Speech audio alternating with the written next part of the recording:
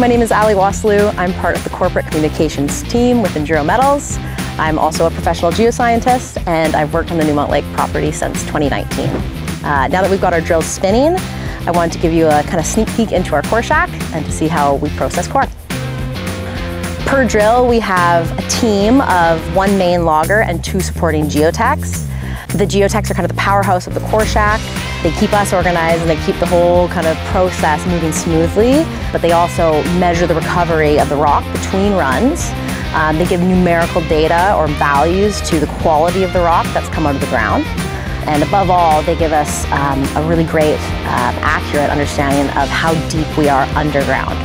The core loggers, they analyze the rock, um, they pick out zonations and changes uh, uh, within, the, within the drill core, and then we use that data kind of to inform our understanding of, of where we're at in the system. We also take that data back to our field office and we plot it downhole in a cross section and that gives us a good idea of how things like lithology, alteration, mineralization, how they connect underground. And then the final product uh, gives us a good understanding of, of what our system looks like in 3D space. At the end of the day, the core gets photographed, it gets moved out to the cut racks, the cutters then split the core, half of the slab gets sampled, uh, we pack the samples into a shipment and secure them, and then we drive them into town where they're hand delivered to the lab.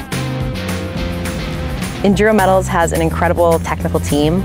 They put a lot of care and attention to detail into core processing. At the end of the day, data is the product that we produce and we take a lot of pride in it.